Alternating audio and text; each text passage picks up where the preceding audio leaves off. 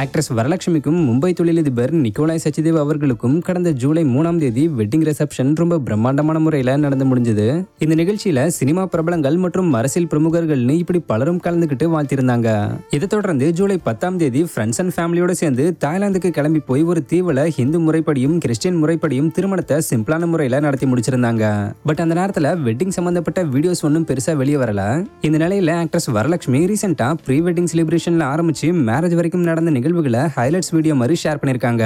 இந்த வீடியோவை ஷேர் பண்ணது மட்டும் இல்லாம வீடியோட கேப்ஷன்ல ஆக்ட்ரஸ் வரலட்சுமி நாங்க கல்யாணம் பண்ணி ஒரு மாசம் ஆகுதுன்னு என்னால நம்பவே முடியல. இது எல்லாமே எனக்கு ஒரு வித விசித்திர கதைகள் போல தெரியுது.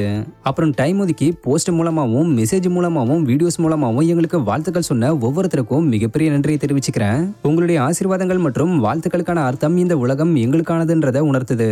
முக்கியமா என்னுடைய ஃபேன்ஸ் நீங்க என்னுடைய வெட்டிங்ல ஒரு பார்ட்டா இருந்ததுக்கு ரொம்ப நன்றி. எங்களுடைய இந்த வாழ்க்கை பயணத்துல ஒரு பகுதியா இருக்கவும் சாட்சியா இருக்கவும் ஃப்ரெண்ட்ஸ் அண்ட் ஃபேன்ஸ் உங்க எல்லாரையும் அழைக்கிறேன். இது வெறும் ஆரம்பம் சொல்லி ஆக்ட்ரஸ் வரலட்சுமி சொல்லி முடிச்சிருக்காங்க.